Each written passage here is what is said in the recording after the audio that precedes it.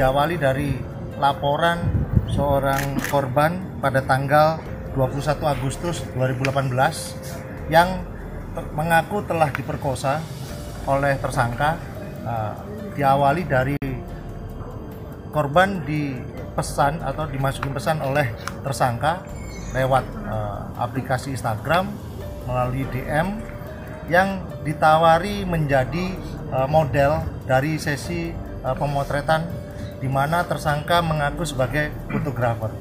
Nah, tentunya uh, korban waktu itu tertarik dan terjadilah jan- perjanjian janji-janji untuk ketemu.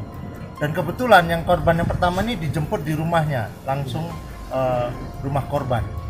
Kemudian diajak berkeliling, terus kemudian di bawah ancaman menggunakan benda tajam, korban sebut saja namanya bunga di satu tempat di wilayah Ken Park